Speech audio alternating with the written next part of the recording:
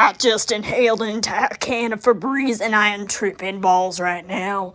Oh my god, why would you do that? Better question is, why am I still alive?